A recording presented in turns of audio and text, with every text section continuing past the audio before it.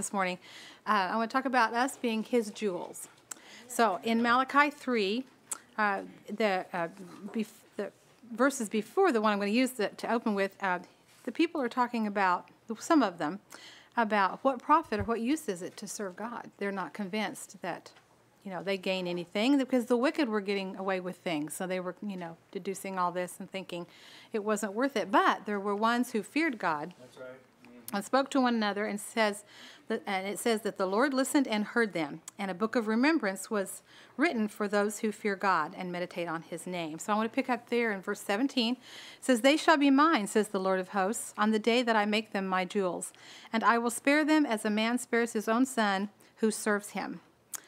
Uh, this word jewels actually literally translated means special treasure uh, or peculiar. Now, I used to always, you know, a lot of times the word peculiar in this day and time kind of means kind of odd or unusual, but maybe sometimes with a bad connotation.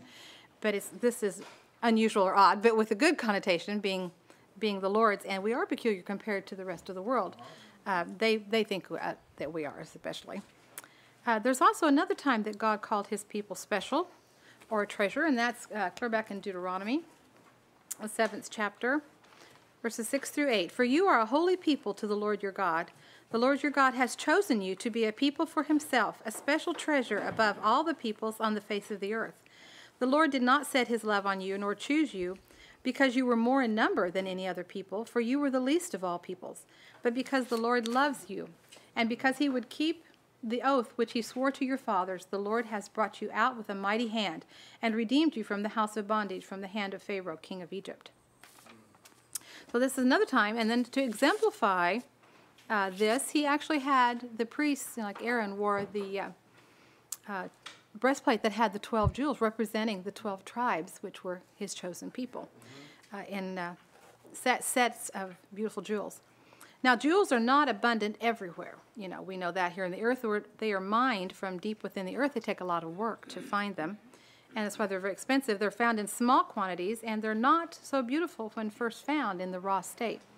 Now, in comparison, God's jewels are not found everywhere either. For the eyes of the Lord run to and fro throughout the whole earth, to show himself strong on behalf of those whose heart is loyal to him from Second Chronicles there.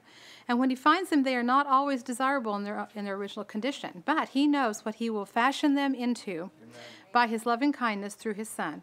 Then he goes to work polishing them up through trials and hardships until they shine as lights in the world. And that scripture is from Philippians 2. I want to read that. It's one of my favorite scriptures. Uh, verses 14 and 15. Do all things without complaining and disputing, that you may become blameless and harmless children of God, without fault in the midst of a crooked and perverse generation, among whom you shine as lights in the world. Uh, that image, that picture there of shining as lights, is just like a, a, a jewel, a diamond, you know, wood.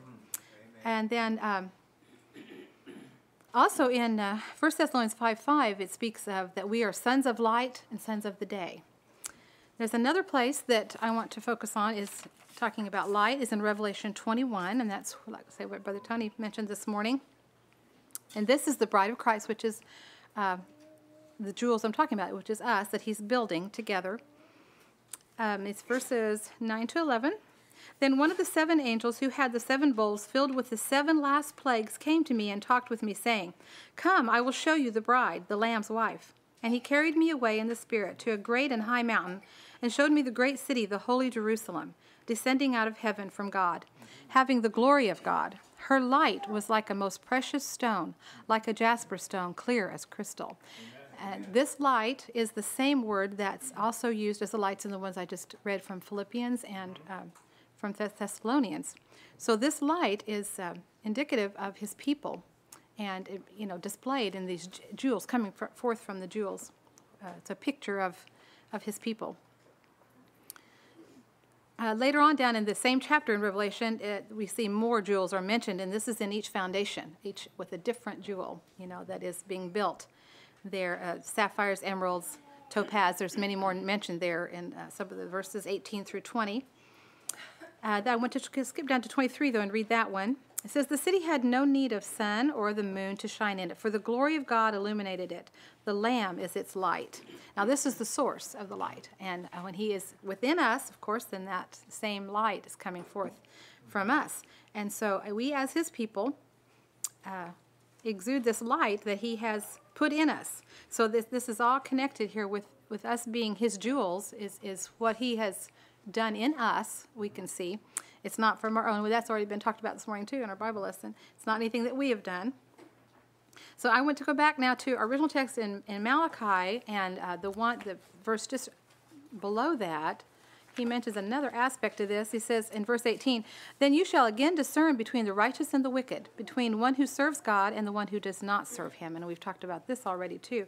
And so you see clearer the closer you get to God, the distinction, you know, the difference that he makes. It's not just um, everyone the same and, and it doesn't matter what you do and it doesn't matter, you know, about this or that. And that's what the world would lead you to believe. But it is very distinct. He's made it very clear in many passages in the it, throughout the scriptures we could read for a long time.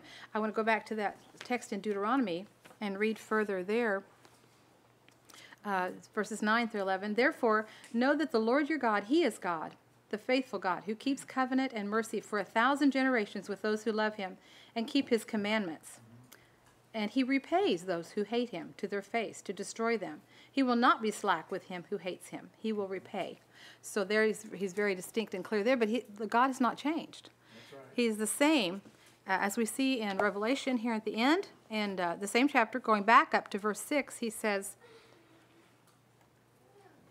um, And he said to me, It is done. I am the Alpha and the Omega, the beginning and the end. I will give the fountain of the water of life freely to those who thirst.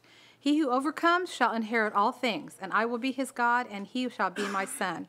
But the cowardly, unbelieving, abominable, murderers, sexual immor, immor, immor, immoral, I'm sorry, sor- sorcerers, idolaters, and all liars shall have their part in the lake which burns with fire and brimstone, which is the second death. So he's very specific, and and this is the end. You know, after all the other times, this is the New Testament, New Covenant. Everything is the same. I mean, he thinks it the same way. It's just that he has sent Jesus to be able to help us to be what he wants us to be, where we can inherit all things and come to him and uh, be deserving of this.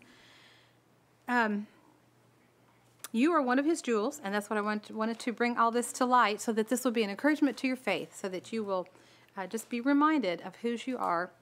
And uh, this is this assurance that Brother Ricky was talking about to know that we are, we are his.